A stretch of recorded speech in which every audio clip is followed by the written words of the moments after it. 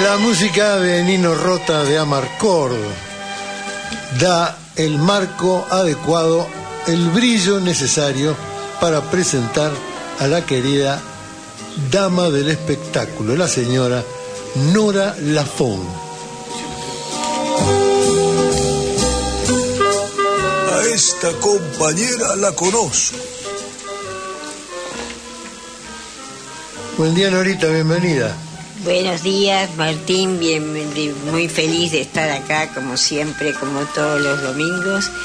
Y lo que les quiero contar es realmente mi experiencia en el Instituto Patria para ver la proyección del agua escondido. Este, que realmente es eh, lo que ellos están llamando la soberanía en juego, ¿no?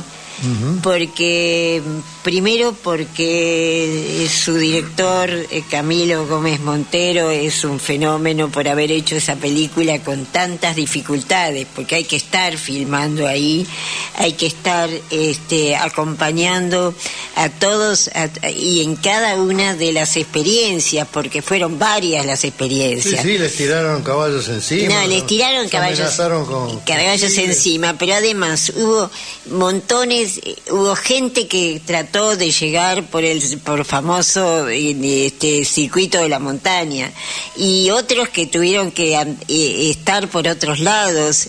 Eh, fue tremendo, pero además a mí lo que me sorprendió fue este que además mi querido mi querido amigo el el, el, el mi querido eh, Francisco Paco Olveira ah, estuvo ahí, este que además estuvo Rashid, que además estuvo, estuvo eh, Alejandro, eh, uno de los que testimonió fue este Alejandro el, vikingo Abayay. Bueno, fue toda, fue tan hermoso estar ahí y además estar al lado de Urien, que yo le hice muchas entrevistas a Urien a lo largo de mi vida y los acompañé muchísimo y estar al lado de ellos. Eh, incluso me acerqué a su esposa y le dije, la, felicito por acompañar a alguien tan valiente, porque la valentía de Urien este, hay que reconocerla públicamente todo lo que pero además verlo al padre Paco este en medio de medio de, toda la gente ahí haciendo y a Rashid que Rashid no la pasó bien. No, lo sacaron en, helicóptero. No, por eso, por eso. Bueno, este, eh, y, esa, y esa epopeya, ¿no? Esa epopeya de, de todos los años ir a, soberanía.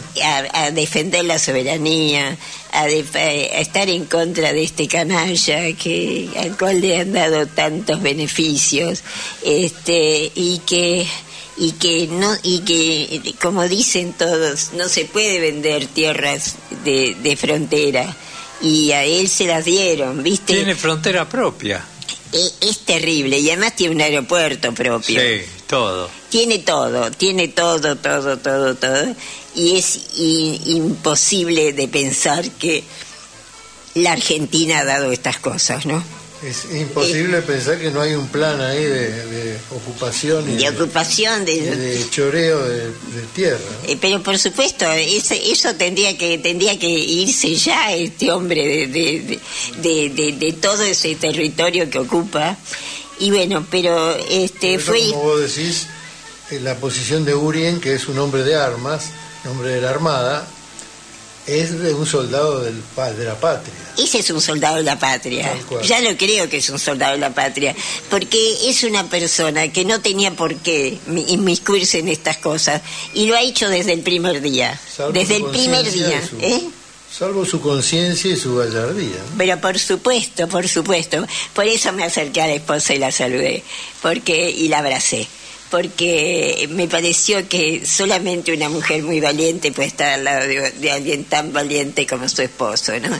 Y, y, convivir con el padre Paco, estar ahí con todos esos valientes, este, que no eran pocos, eh, porque eran muchísimos los compañeros que estuvieron ahí representándonos, este, es tan hermoso, pero tan, tan hermoso que bueno, para mí fue una experiencia maravillosa. Está muy bien hecha la película. Eh, que está muy bien hecha la película porque y además este, la gente la gente la gente que la quiere la puede la puede conseguir porque es cuestión de, de, pensar a quién se la va este, a, mostrar y los, los, muchachos hacen lo posible para mandarla.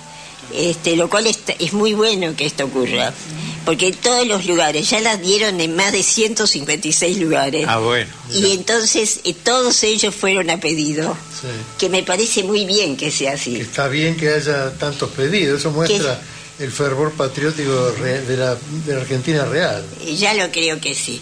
Bueno, y este finalmente eh, al día siguiente estuve en el estreno de Incógnito, que es un es algo de de Nick Payne que está dirigido por Marcelo Moncars. Esto es ocurre en el en el Beckett.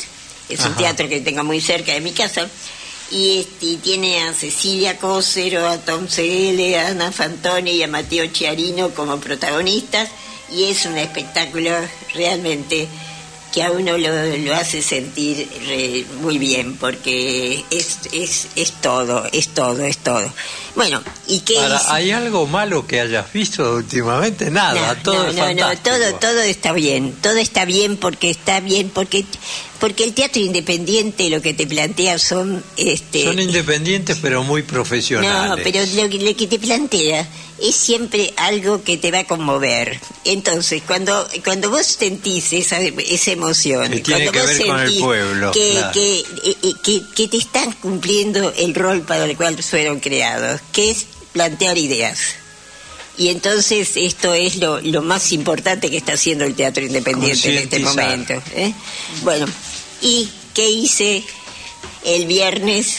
El viernes me fui a la biblioteca a ver a Campana, este, haciendo Funes el Memorioso, acompañado de Gabriel Torres.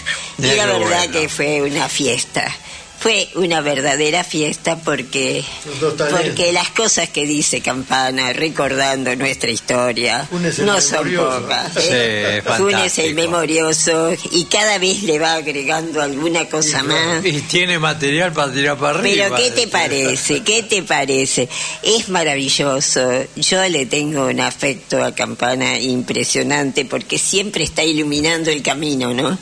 Siempre está iluminando el camino y este y Gabriel lo acompaña eh, con todas sus canciones, algunas muy nuevas que, que son hermosísimas, ¿no? Y que plantean también eh, también plantean este, la necesidad de la liberación. Además, no hay nada mejor que contar los grandes dramas con humor te llegan mucho más. No, sí, pero además este Campana narra tan bien esta historia, tan bien. Eh, por ejemplo, él siempre recuerda que que el primer Martínez Dios fue el que juró para la corona británica este eh, para, que le dieran este la aduana de la, sí, la venta de esclavos en la aduana de Buenos Aires la aduana de Buenos Aires viste entonces cuando vos te encontrás con esos materiales y vos decís, bueno, Qué bueno, qué bueno que es que haya gente que está recordando y nos está recordando todo el tiempo todo lo que nos pasó. El Día de la Industria lo festejamos en un contrabando que se hizo en la época de la colonia. se, llevaban las barras de plata dentro de, bolsas de, comida. pero eso, eso, eso que contó que contó Campana también en su programa era maravilloso porque si el Día de la Industria que lo que uno hace es, es, y además es un contrabando, era un contrabando era un contrabando total. Es pero muy, bueno, es muy importante, la neurociencia indica hoy que aprender jugando para poder comprender. Claro. Aprender jugando. Y de alguna manera, este, la comicidad y eso, eh, permite que uno aprenda mucho más rápido y fije los conceptos. Claro que sí. Es la, es, la, es la, memoria. Es la mejor forma. si vos le enseñás a los chicos, yo lo hacía con mi nieta, le enseñaba historia para que fuera a dar las clases al colegio. Y ella venía con su manual y me decía, abuelo, contámelo vos que me lo haces como un cuentito y a mí me queda todo. Eso, es memoria emocional. No, no, sí, sí, de memoria emocional, por supuesto. Y este y bueno, y les, les, les cuento porque a mí me llena de mucha satisfacción que, que mi hija está haciendo un curso sobre la Biblia. Ah, qué bueno. Este, que es bastante interesante porque, porque la Biblia tiene un montón de cosas que no son ciertas.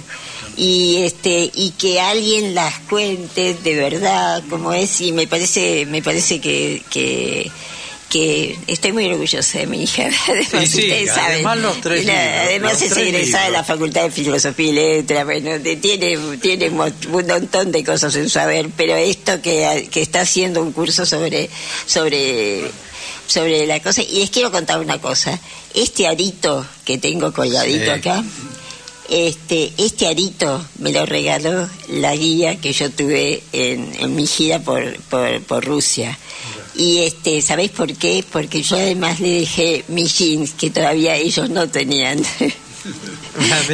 yo, todavía, eh, yo le dejé mi jeans que ellos todavía no lo tenían. Ahora, los tres libros sagrados de las tres religiones mayoritarias eh, a un solo Dios, los tres cuentan la misma historia un poco cambiada, pero es la misma. Sí, sí. Vos sabés que el Corán acepta a Jesús como el mayor de los profetas. Sí, sí. Y a María también. Y a María también. María es la mujer más importante. Claro. Sí. Y esposa de Dios. Y bueno, pero eso es lo que tenemos. Bueno. Y la Torah es el Pentateuco. Muchas gracias.